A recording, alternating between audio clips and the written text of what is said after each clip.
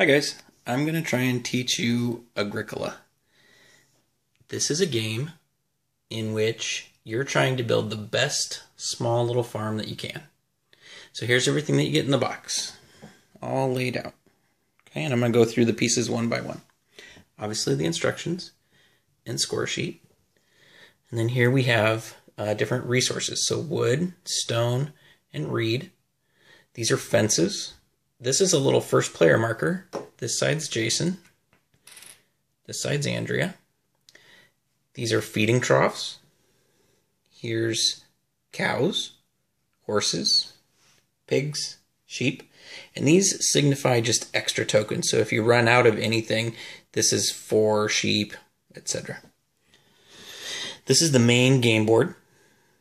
These are extra player to- uh, tiles to add onto your farm. Here's each of your farms. So we'll say that this one's Andrea's farm with the red tokens, and this one's Jason's farm with the blue tokens. And these are the, what are called special buildings, these four here. And then these ones here are stalls, and it's a, just another kind of building, but they don't fall under the special building category. Okay? And I've already set up the game to show how you initially set the game. So when you first uh, set it up and get ready to play, you're going to give each player one of these boards, and you're going to give each player nine of these fences, and they're three tokens. Okay? And that will leave eight fences up here. So that's how you know you got the number of fences right. Okay, so I want to First of all, I like to say how you actually win the game. So the way you win is, like I said, make the best farm that you can, and that's signified by points, like a lot of games that uh, we talk about. So uh, at the end of the game, you're going to add up your points, and I'm just going to tell you this now, and a lot of it might not make sense, but that way you can kind of understand what I'm talking about as I explain the game. So at the end of the game, you're going to put uh, Andrea here and Jason here and then you're going to add up your total number of sheep, put it in there, total number of pigs, cows, horses, and then just add up. And this so this column right here will be your total number of all animals. Then here is special points related to each of those kind of animals. So in the first one, it'll be Andrea's total number of special points coming from sheep. And the way you get that is actually on the side of the box, there's a little chart. And so it shows there that let's say you have 14 sheep. You would get four extra points as it shows at the top of the column. If you had, let's say, 12 horses, you'd get six extra points. Okay, but you can also see in this column that it says minus three if you have zero to three of any animal. So let's say you only had two pigs and no cows. You would get minus three for each of those guys. So you put all of those numbers into the columns related to each of those extra animals. And then you add up that total here. And then these two are related to how many extra tiles, which are these, that you've added to your farm.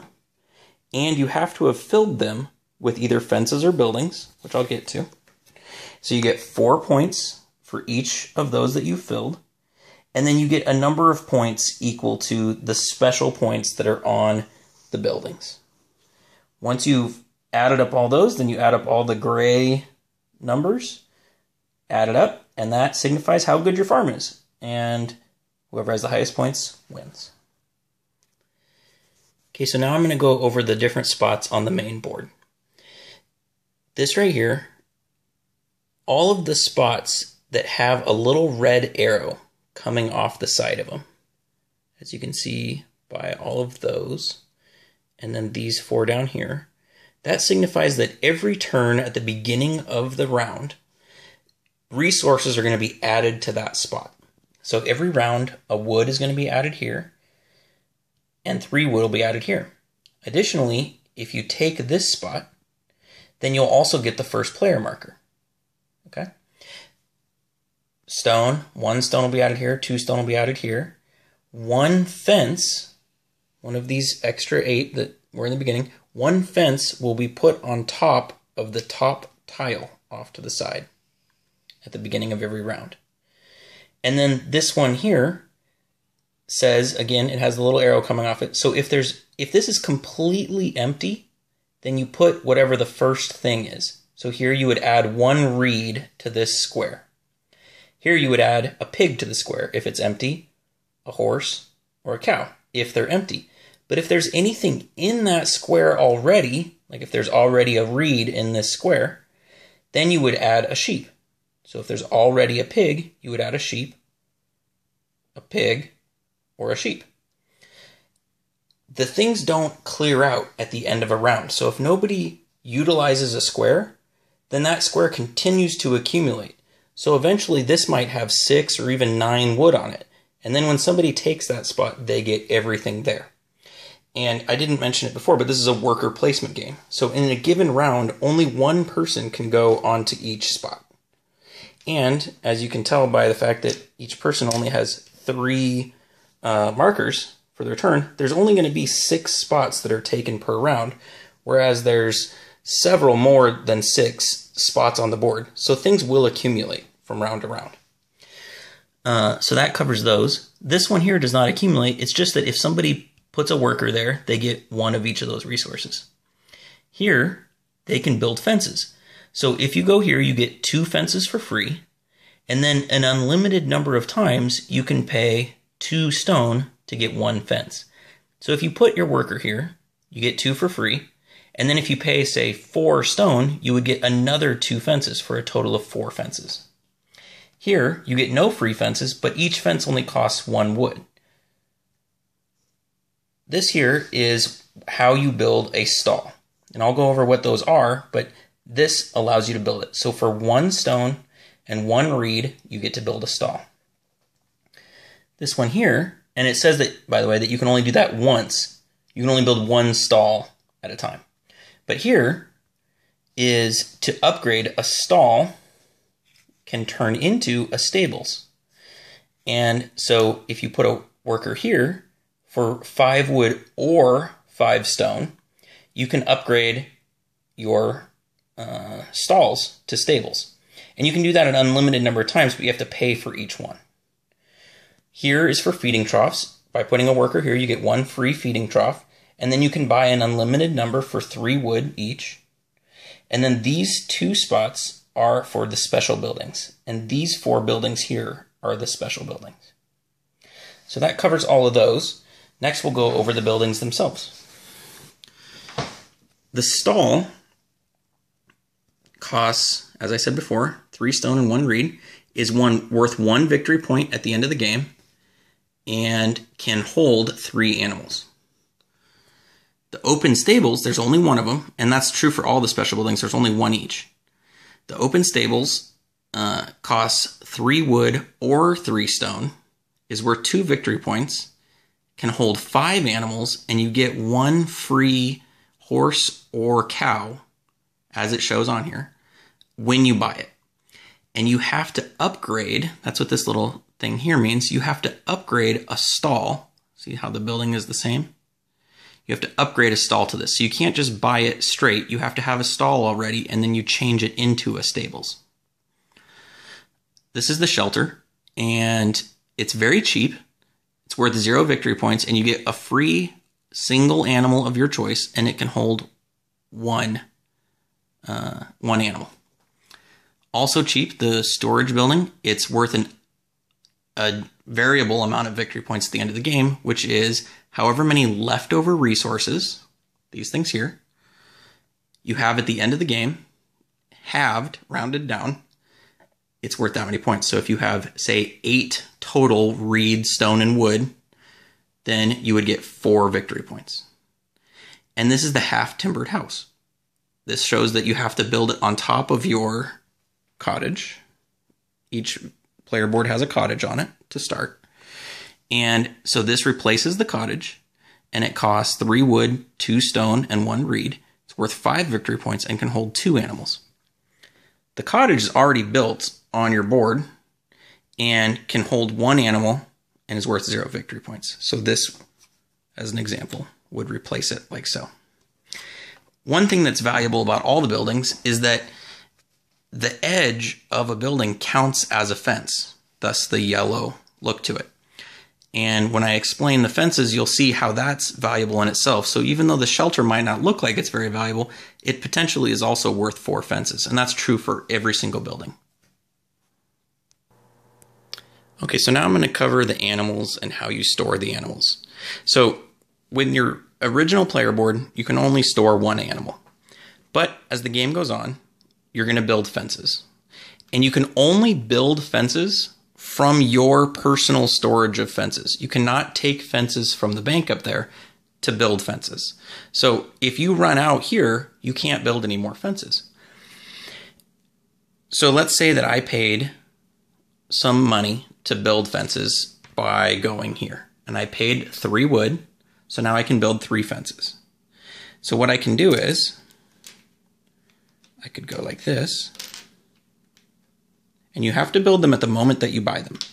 So now I have fully enclosed this area right here. And now I can store two animals in an enclosed area. So each square can hold two animals. Now let's say that instead I had paid six wood. I could go like this.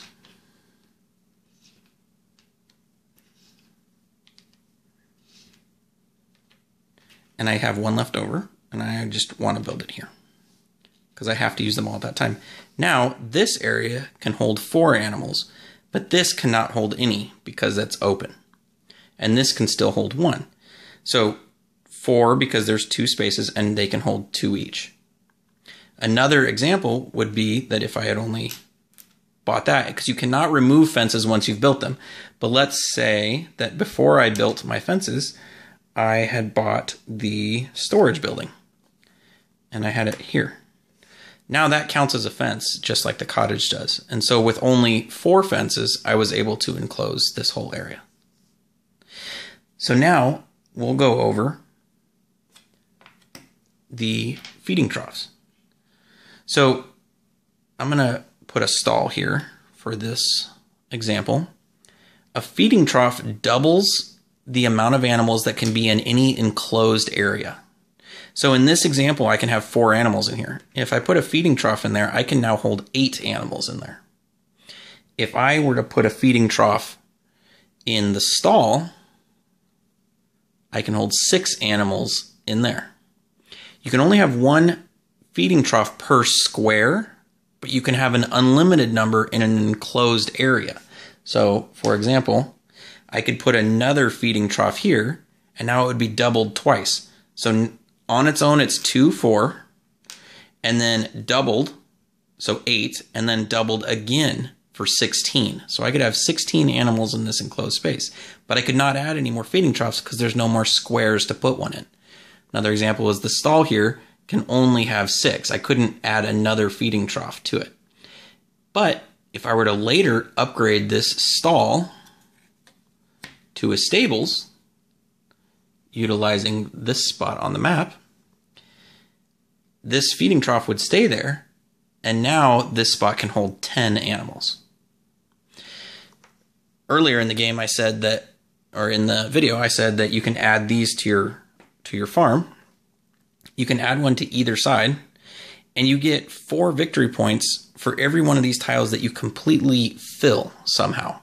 So that could mean putting three buildings on it, or it could mean putting one building and fencing off the rest of it, or just fences. As long as every square is somehow fully enclosed. So if I were to have it like that, this area could hold 10 animals, and I would get four points for this whole thing being used. But if it were just that difference, then this could hold no animals, and this would not get me any points. Just to show another example, if I had a stall there, this could hold eight animals, and I would get four points for this. And just to drive it home one more way, this already holds eight. If I just put one of these in there, this can hold 16 now. If I were to put another one, it could hold 32, although you'll never get to 32 animals. Okay, so now I've populated this with some animals. And this is totally illegal way to have uh, your farm. Okay. I have this building can hold three, and I have three in there. This can hold one, I have one in there. This area here could hold eight because of the feeding trough and two spots, and I have five in there, so I have room to grow. This could hold 16, I have plenty of room to grow. And this could hold five, I still have room to grow. Now, each holding area can only only hold one kind of animal at a time. So I couldn't see how I have no more room for horses here. I can have horses in as many different different areas as I want, but if I wanted to add another horse to my farm, I have nowhere to put it. So I would have to expand somehow or put a feeding trough in one of these or something along those lines to increase my horse storage. At the end of every round, you're going to get a free animal, they breed. You're going to get a free animal for each type of animal that you have at least two of. So it's not per pair, it's just one free animal for every type of animal that you have two of. So in this example here, I would get one of each kind of animal for free. And I could, for all of these three animals, I could easily accommodate their space. But for the horses, I have nowhere to put them. And so because I have nowhere to place that animal, I would lose it. I don't get to get the free animal.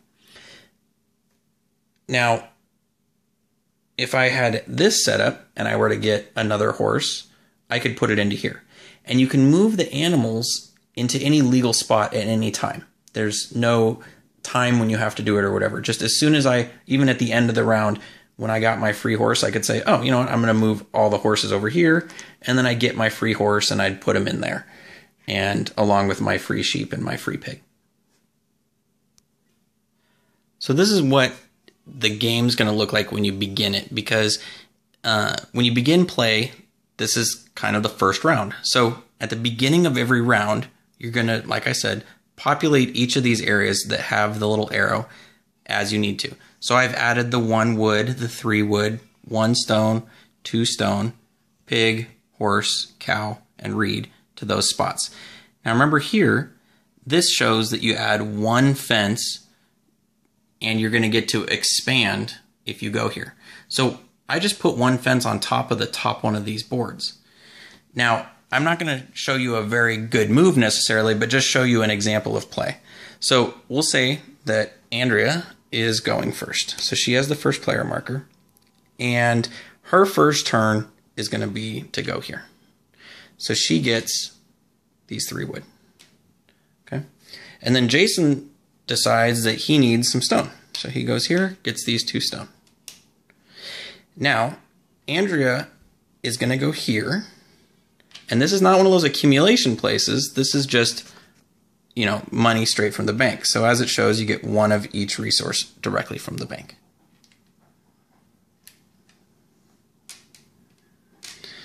Okay. Jason is going to go right here.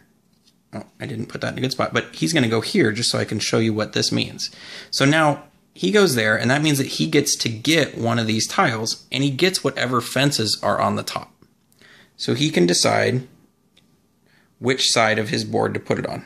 And he shouldn't have already had this in the beginning of the game, but it's there. So now at that point, he gets to add this to his potential fences that he can buy from. He doesn't get to immediately place that fence, but it's another one for him to purchase from. So his board, since this is the first round of the game, it would be that he added this one, and now he has more places to build, and that shows that. Okay, and we're just going to finish this round so I can show repopulating the map next round. So Andrea has a bunch of wood now. She has four wood, so she decides that she wants to build some fences. So she goes here, and that lets her build one fence for every wood.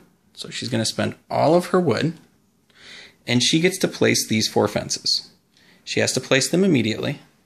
So she'll put them here, here, here, and here. Now this is not enclosed, so she can't store any animals yet, but she has a plan to build more fences in the future. So that's how she decides to take her turn. And lastly, Jason decides that he really wants a pig. So he goes here and gets a free pig and he only has one place to put it, is right here. If he were to put it in the field, it runs away. So he can only put it right there. So now I'll set up the board for the next round. Okay, so to begin the next round, I, I repopulated the map, and you do that at the beginning of every round. And so nobody took the wood from this last round. So now there's two wood here. There's the leftover from last round and then the one that got there this round. I replaced the three wood here. I, I put another one stone here. So now there's two there. And I put these two stone back because somebody took that last round. I put another one of the fences from this pile onto here. And because there was already a reed here, then that means that I add a sheep. There was nothing here, so I added a pig. Already a cow, so I added a pig. And already a horse, so I added a sheep. And that's all you do to replenish that. And I took all of these pieces, like any worker placement game, and I returned them to the players. As you may be able to guess here, since I'm putting one of these every round onto here, that's actually what times the game. So there's only eight of these at the beginning. You're going to put one of those on here every round. And so the game ends when all of these are gone. So on the eighth round, you're going to put one of those there. And that will signify, since there's none left, that that is the last round of the game.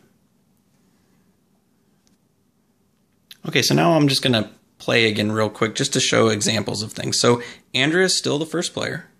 So she gets to place her first person. And she, again, wants more resources because she wants to build a st- uh, stall coming up. So she's going to go over here and get this stone. Jason is now also wanting to get a stall and he has some stone, but he needs reed and another stone because he only has two stone. So he's going to go here again, or for the first time. He gets them from the bank. And now Andrea is going to go, and she saw that Jason was probably going to build a stall, and she's very sneaky. So she goes here, and she's the only person that's going to get to build a stall this turn. So she just conveniently has the three stone needed and one reed, and she gets to build a stall. And she's going to place it right here. Now, what that's done is that's made this a viable storage area for animals. This is also a storage area for animals, and so is this.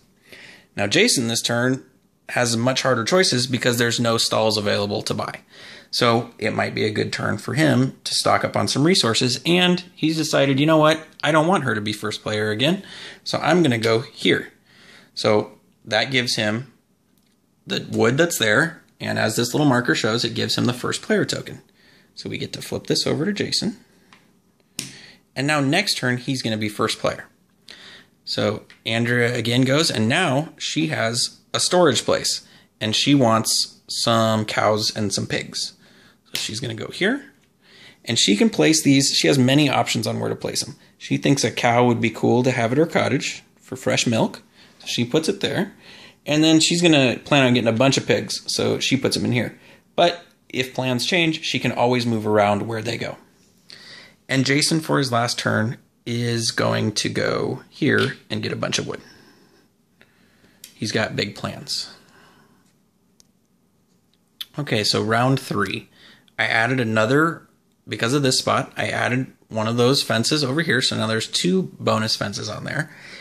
I've replaced the wood and over here. And now, even though this place is only getting one per turn, nobody's ever gone there. So now there's three there. This is back to two.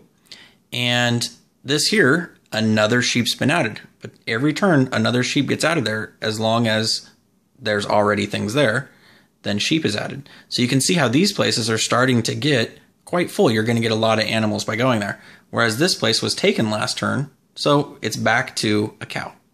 And this was taken on the first turn, but not the second turn, so now we have a pig and a sheep there. And it just accumulates until somebody takes it. So this turn, Jason gets to go first. And again, he's got big plans. So he's going to go here and he's going to pay his three stone and one reed and get a stall and very wisely put it right there. Andrea is completely broke, even though she's got a nice farm. So she really needs some resources. And right here, she gets to snag three stone in one spot because it's accumulated quite a bit. Jason has a brilliant plan with his six wood, goes here, and can decides to spend all of his wood on fences. So he gets to build six fences, and he's going to go like this. There. And three there. And now he's got this whole area is now sealed off. He's got a stall and still his cottage, of course. And in the future, he can put another one here, and that'll divide this into two nice storage areas. He can never remove a fence that he's already played or move a building that he's already played, but he could then divide this up later. So now Andrea still thinking she needs a lot of resources, so she goes back here because first player would be nice to get back, but three wood would be even nicer right now. And now Jason, for his last move, will go here and get this well accumulated spot get a nice horse to go in a stall, and get some sheep because he's going to build a sheep empire. And then Andrea gets her last turn, and she's got plenty of place for some pigs, so she goes here, gets another pig, and has a spot for her sheep. Now, at the end of this round, Andrea, so it's the end of the round because everybody's played all their workers. Andrea has one cow, one sheep, and two pigs. She has more, two or more of pigs, so she gets a free pig, and she has plenty of place to put them. Jason has two sheep, so he gets a free sheep, and he has plenty of place to do that. So that's how the game accumulates. And so next round, we're going to do the same thing. You're going to repopulate all these areas that have the arrows after you take off all of your workers. And this place right here you're going to see is going to start looking really attractive because it's going to have three sheep on it by next turn, even though these places are only going to have one pig and one horse. And this will have a sheep and a pig. I'm sorry, a cow and a pig. So things are going to start accumulating. This is going to have four stone on it next turn. That'll be nice. And you guys are going to start being wealthy enough that you're going to be able to start buying some of these special buildings, which there's only one each of. So there's kind of a rush to build them because the other person obviously won't be able to get one once you buy it. And that's how the game progresses. Okay, so just to recap once all these are gone, that will be eight rounds. At the end of that eight rounds, you're going to look at your farm. You're going to see the awesome empire that you built. And then you're going to get this sheet out. Again, you're going to put the total number of each type of animal you had and add it up, and you get one point each for each animal. Then you get your bonus points based on the grid at the side of the box. And hopefully you have three of each kind of animal so that you don't get a penalty.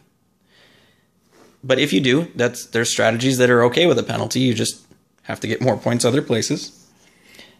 This spot here is for each one of these things that you've populated. So it could be fenced in or have buildings on it. But as long as all of these are fully used, so fenced off, uh, it doesn't have to have animals in them necessarily. They just have to be fenced or have buildings on them. And then lastly, the special points, if it focuses, there we go. The points for each of the buildings. So for instance, this gets 1.020. I already explained that based on the number of resources you have left over and five. And that's it. So you add it up. Whoever has the most points wins. And hopefully, you guys have a great trip and this made sense. And you can call me at any time if you have any questions. And oh my gosh, this took a half hour video, so hopefully it wasn't too boring. Bye.